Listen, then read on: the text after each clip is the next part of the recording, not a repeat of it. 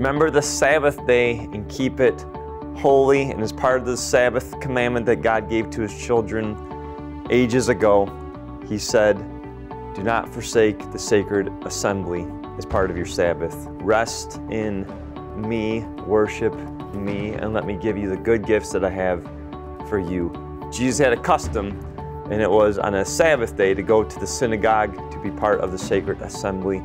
And so that's why we're gathering. We're gathering from our homes, we're gathering here in our sanctuary to rest in Him, to rest in His promises, to rest in His truth. We are here to worship Him and to receive His blessings. And so it's great to be with you as we begin our worship time. I'm Justin Krupski, one of the pastors here at Trinity Lutheran Church in Utica, Michigan. We are honored that you're choosing to worship our great big God with us. And so as we begin, there's something called the Church Center app. I want to encourage you to download that on your phone, uh, check in with us here at Trinity, and then you can partner with us in our ministries and, and know more about what we're up to here.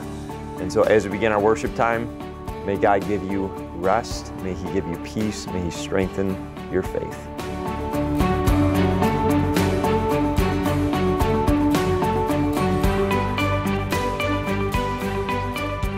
Well, good morning, everybody. Uh, all right, let's try that again. I, I sense there's maybe a little more enthusiasm in the room. Good morning, church. Yes. Thank you, Larry. Appreciate it. And welcome to you as well online. That's Jessica over there. Everybody say good morning, Jessica. Hey, and I'm Josh and I'm so happy to be with you here. I'm on the pastoral staff here, and uh, welcome to Trinity. We're so excited. We're almost into Advent, which is the season in which we celebrate Christmas. But maybe some of you are saying, hey, whoa, slow your roll, Josh. It's not even Thanksgiving yet. So, all right, let's just stay in the moment. We have so much to be thankful for. Amen.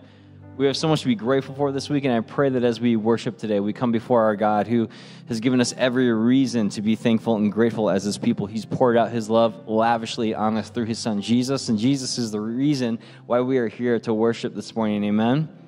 And so, as we do that, let's just have thankfulness and gratefulness in our hearts. Let's start to even focus now on all the reasons we have to be thankful and grateful. And as we do that, how about we stand up and, and share maybe one thing you're thankful for with somebody around you? And if not, just say hi, welcome them. Again, welcome to Trinity. I'm thankful for all of you, just in case you guys were wondering.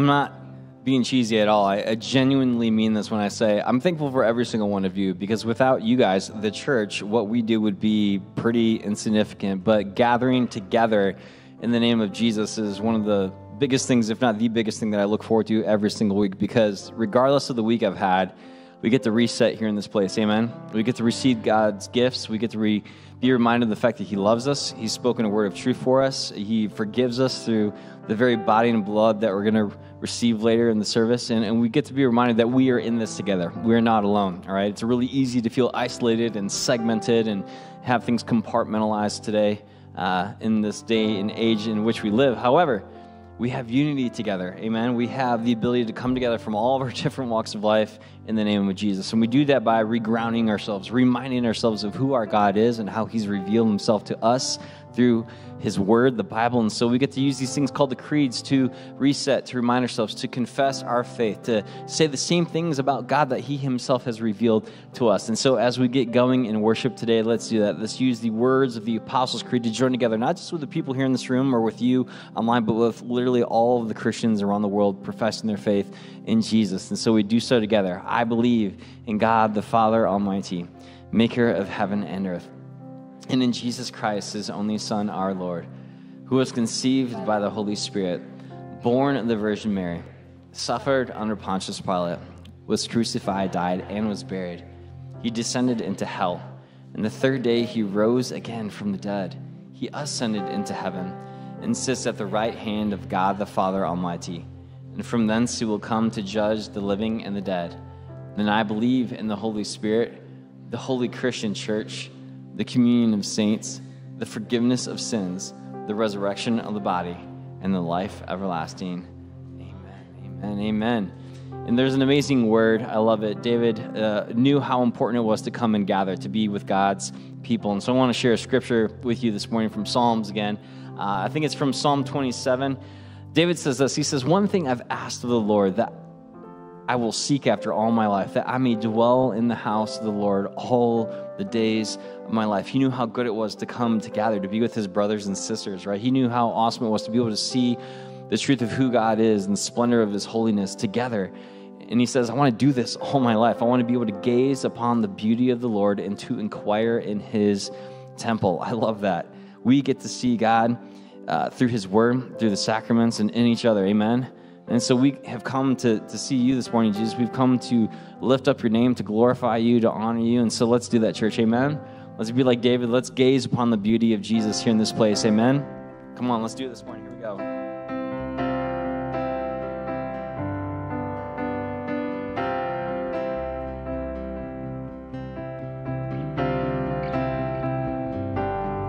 This is where worship starts. Here in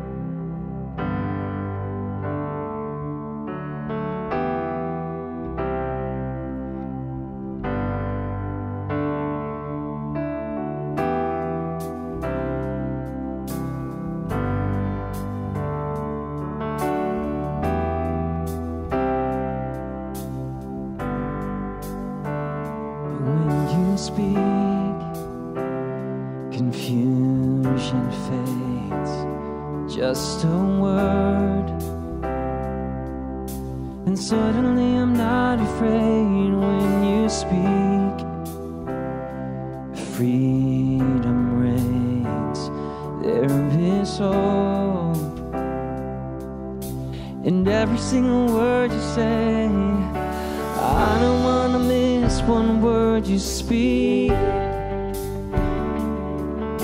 Cause everything you say is life to me. I don't wanna miss one word you speak.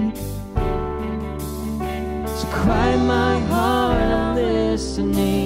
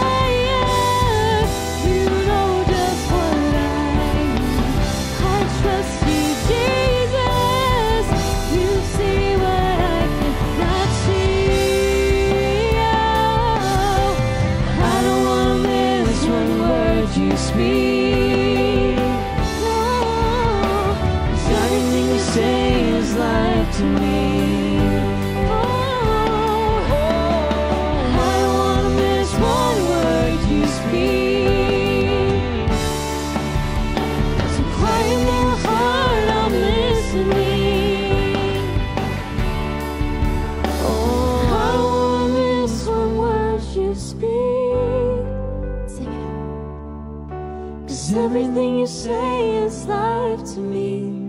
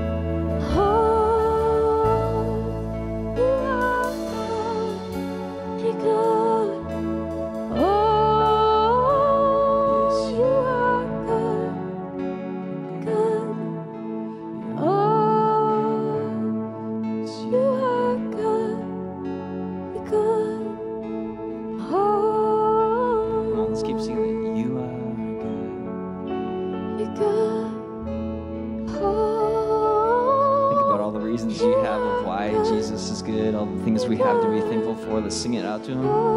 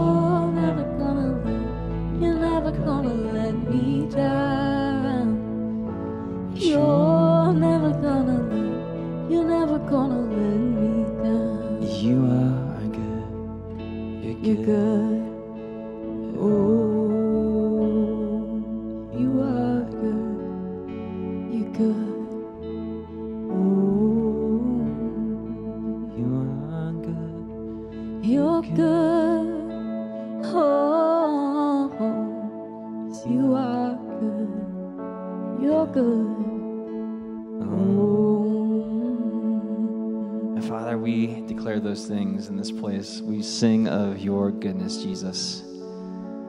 Because, Jesus, that's who you are. You are good. You are so good. You are so loving.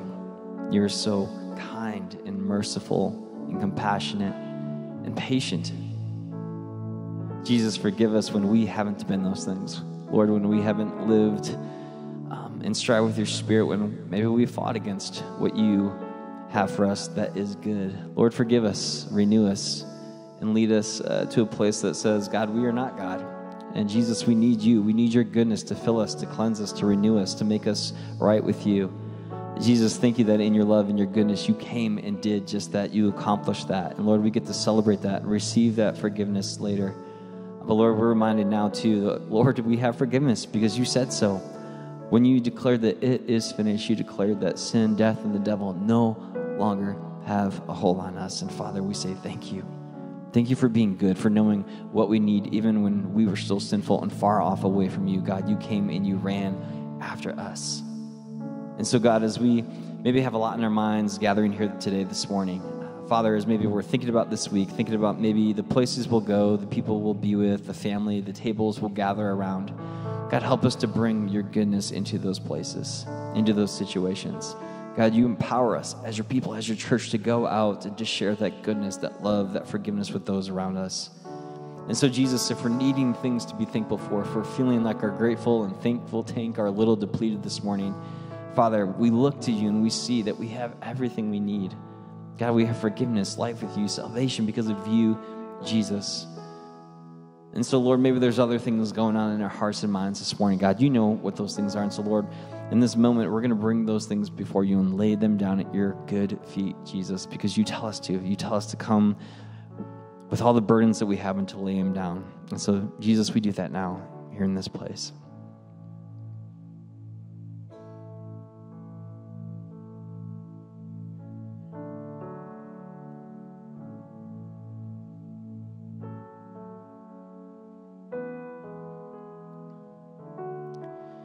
And God, even the things that maybe we can't make sense of, and even the things that maybe we're trying to put words to, God, you know what's going on inside of our hearts. And so, Lord, we pray those things using the prayer that you have taught us as your people. And together we pray, Our Father, who art in heaven, hallowed be thy name. Thy kingdom come, thy will be done on earth as it is in heaven. Give us this day our daily bread, and forgive us our trespasses, as we forgive those who trespass against us. And lead us not into temptation but deliver us from evil. For thine is the kingdom and the power and the glory forever and ever. Amen. Amen. You may have a seat, church. Thank you again for being here this morning at Trinity. My name is Josh. Again, that's Jessica. We just have a few things to share with you that are going on and happening in the life of the congregation. Um, the first is this it's not on the announcement slides, but really quick, just in case you forgot last week, we have our Motown Soup open house going on. And we want you to know about that because it's a, a huge blessing. And so, again, if you forgot about that, you can still sneak into that in the fellowship hall down that hallway after the service. And so, just a heads up that if you still were hoping to get some things at the open house, it is still going until about noon today. And then while I'm giving these announcements, hospitality team, I just want to invite you forward to come and collect the offerings at this time. And in church, just so you know, you can let us know that you're here by either going into the Church Center app and, and recording your attendance. You can even give electronically that way if you so desire, or you can use a communication card and let us know that you're here. Um, but as the hospitality team comes forward to collect the offerings, there's just a few other things going on that we want you to be informed about church to be up to speed on. And the first is this uh, we have this awesome thing called Thanksgiving this week. And so, Thanksgiving means that we get to gather together as a church family and worship together. Uh, Thanksgiving Eve worship is happening Wednesday night at 7 p.m. in the sanctuary. That service will also be live streamed. So if you are out of town, you can still worship with your church family as you worship out of town with your family family. Make sense? Cool. And if you happen to be in town and you want to come join us, 7 o'clock um, on Wednesday night or 10 a.m. on Thanksgiving Day, uh, we'd love for you to come and worship with grateful and thankful hearts Jesus, uh, our Lord and Savior, who's given us again every reason because of his goodness to say, God, we thank you for who you are and what you're doing here in this place, in our lives, in our families, all over the place. And so, Thanksgiving this week, worship opportunities. Don't want you to miss out. Uh, what that means then is Advent is right around the corner. I alluded to this earlier. And we have our Advent midweek services starting back up. And there's just a few time changes that we want you to be aware of. If you are uh, some of the people who come and join us the 11 a.m. Advent midweek worship services, those are not changing. Those are still happening Wednesday mornings at 11 a.m., the 6th, 13th, and 20th.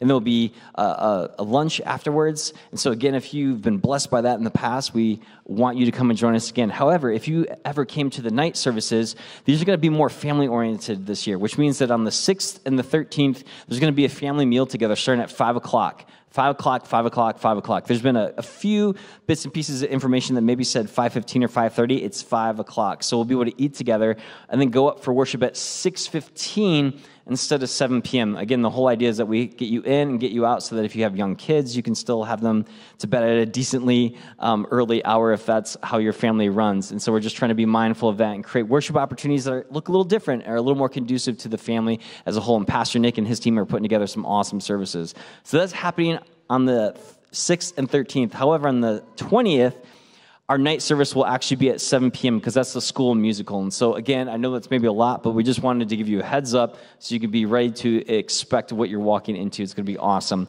And then, lastly, um, women. We have an awesome women's ministry going on here at Trinity, and there's this thing called Christmas Aglow that's happening on December 5th. And so, if you and a group of ladies want to come together and, and attend this event. Again, um, it's an awesome night of fellowship and, and, and, Christian just encouragement. And so, again, if this is uh, something you'd be interested in, check out the information as follows. And again, as we prepare our hearts and minds to receive God's word today, uh, I direct your attention to the screen this morning.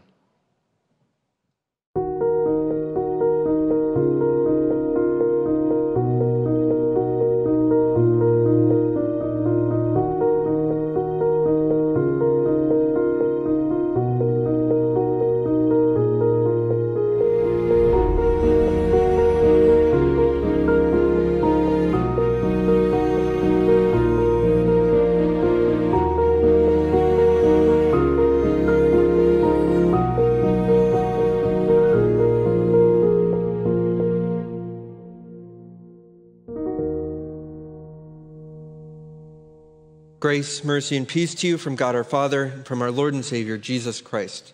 Amen. This week, we're continuing our sermon series on the God of the possible. This is part of our larger yearly theme where we're talking about our great big God. There's nothing he can't do.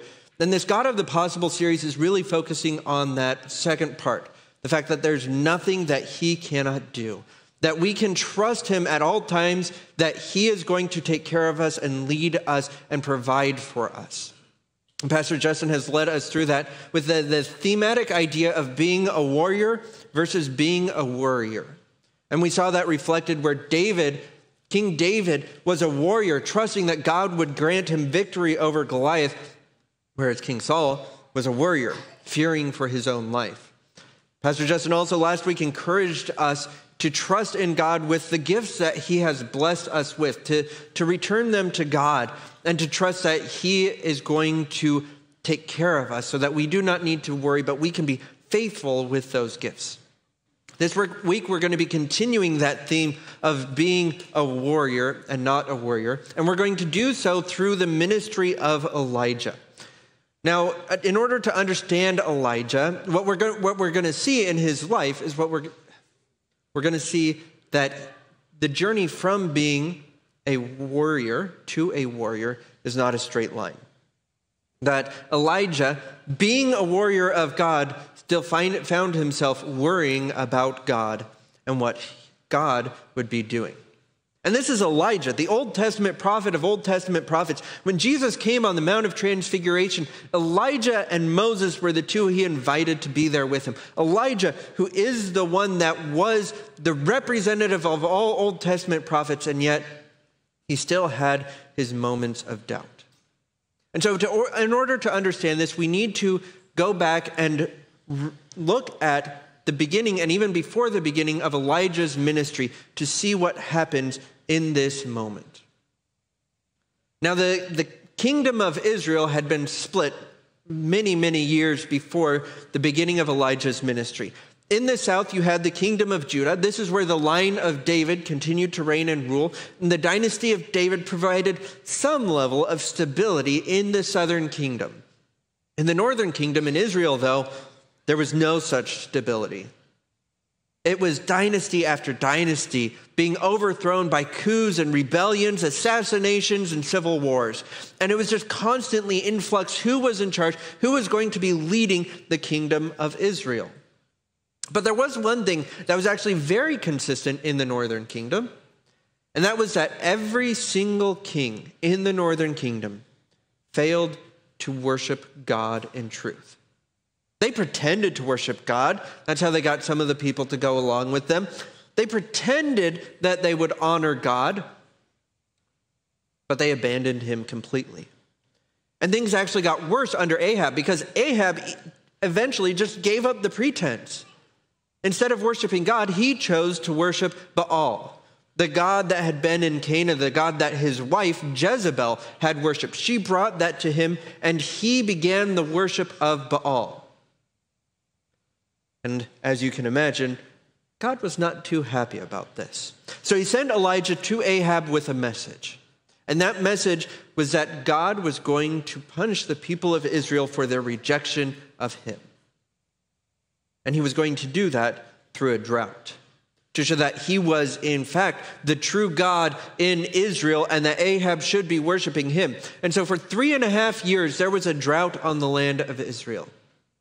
Ahab was unhappy with Elijah for bringing this message. So Elijah had to run, and he lived on the edge of the world, away from everyone and everything, but not too far from God.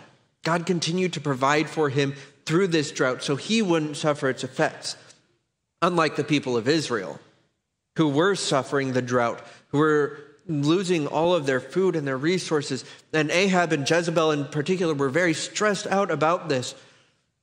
And finally, after three and a half years, God sends Elijah with a message. It's time for the drought to end. And God is going to do so through a confrontation between him and Baal. It was a showdown between God, the, the, Yahweh, the God of Israel, and Baal, the God Ahab had chosen.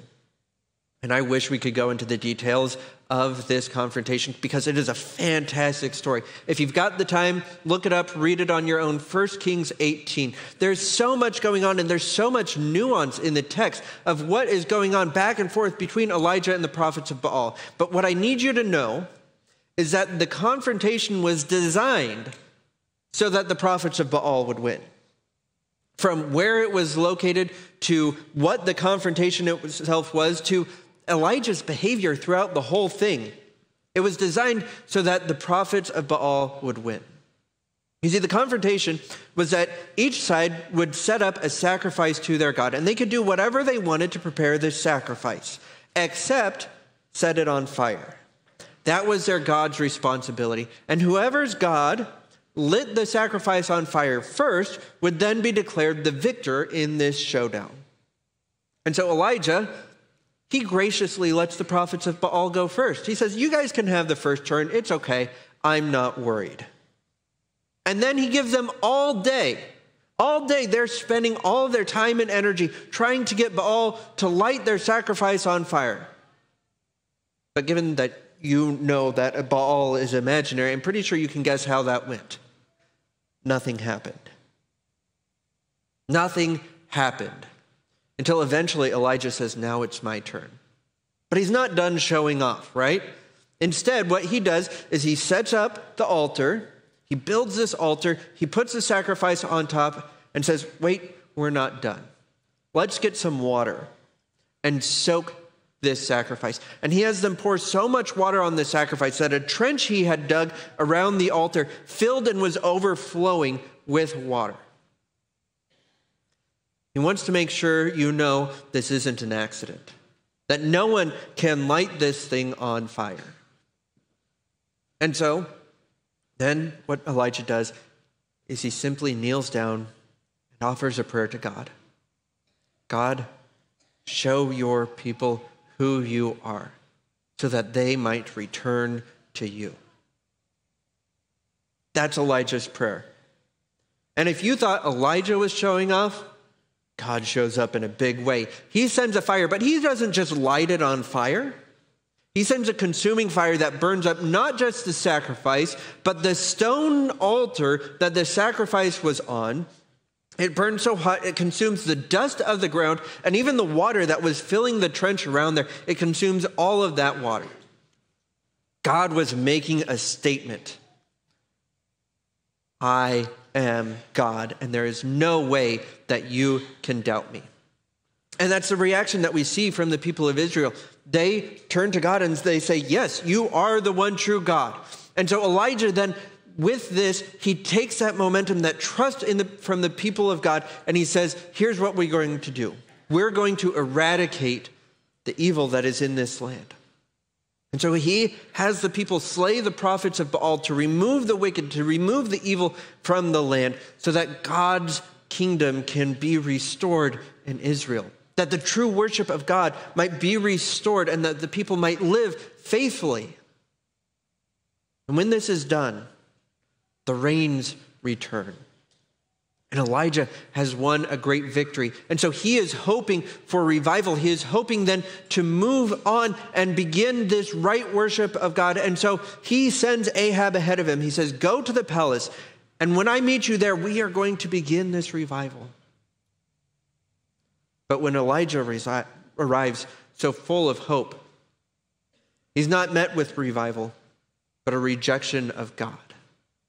Instead of meeting Ahab so that they can begin this process, instead, what he meets is some soldiers sent by Jezebel with a warning that as soon as Ahab gives her the okay, she is going to have Elijah executed.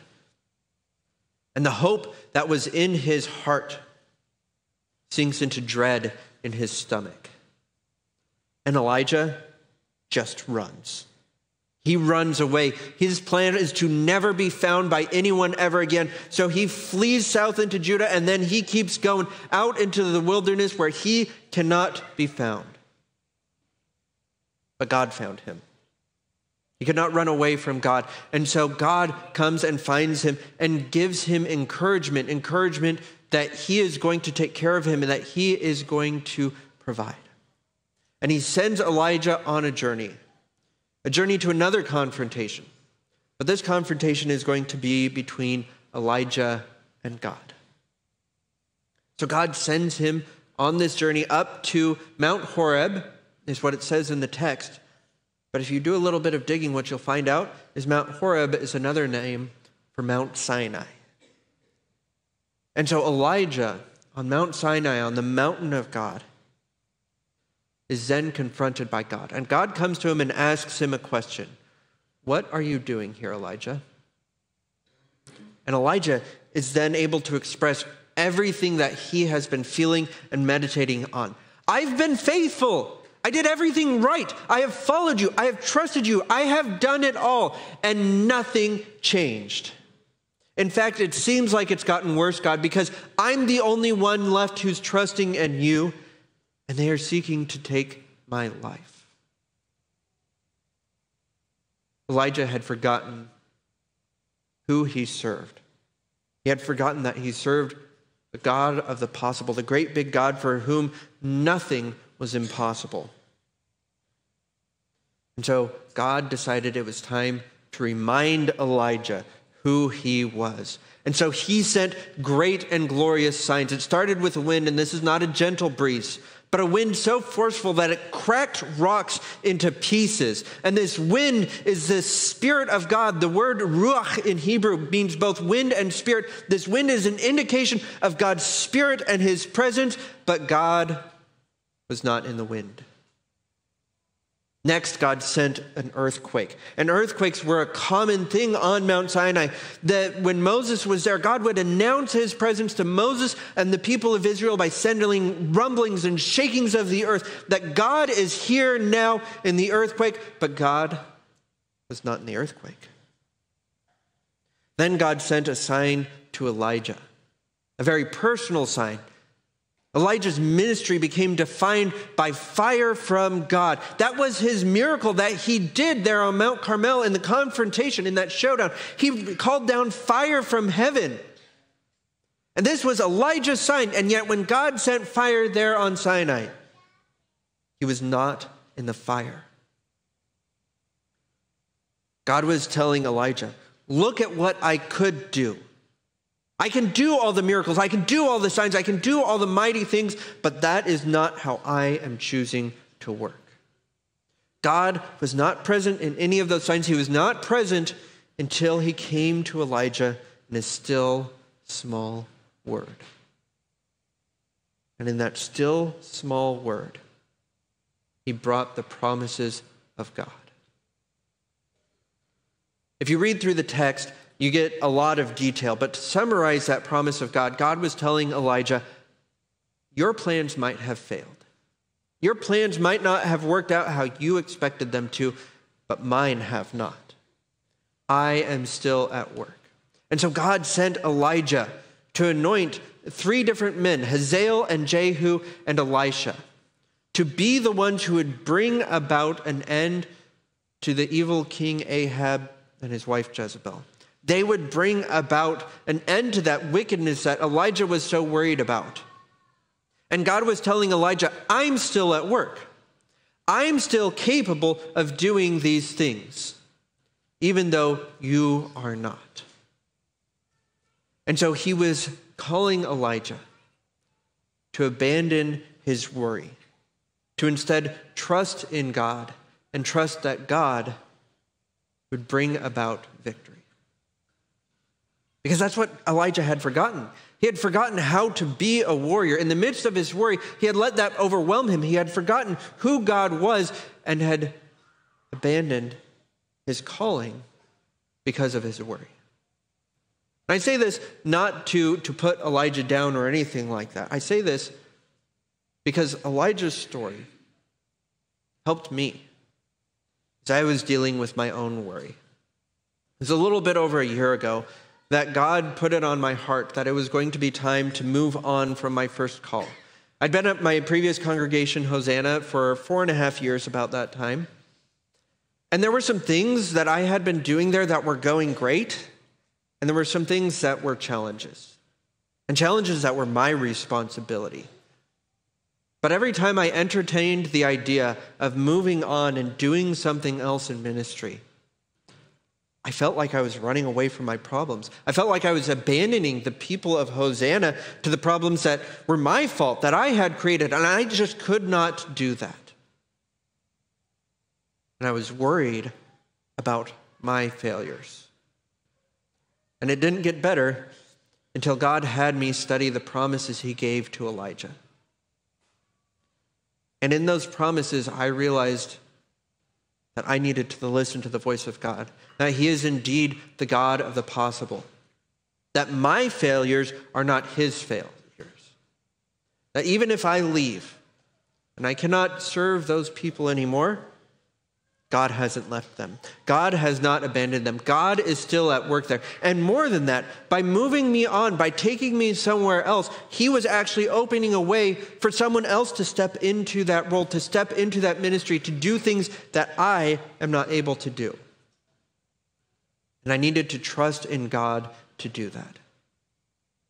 And when I trusted God, He led me here so that now I get to serve all of you, and we get to be in relationship with one another. We get to work together on God's mission, and God is going to continue to do great things.